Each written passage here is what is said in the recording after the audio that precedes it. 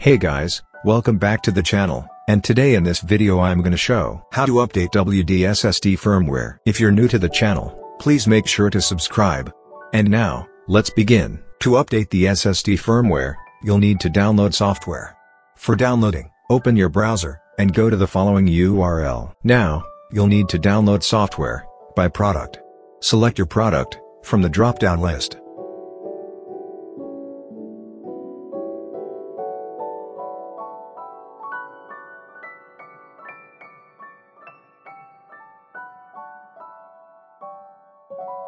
After selecting your product, click on Submit.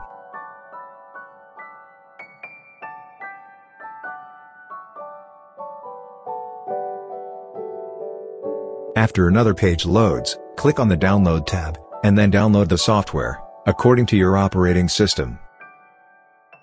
After software gets downloaded, install it.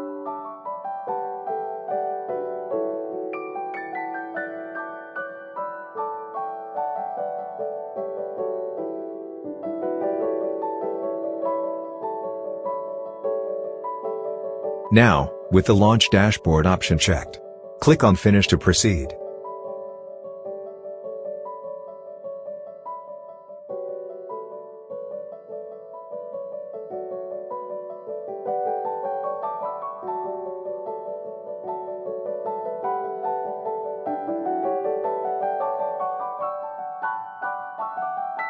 After the dashboard opens, please make sure to select the correct device, if you are having multiple devices. After selecting your device, you'll have your firmware version. If it has a green tick prefix, it means you are running the latest firmware.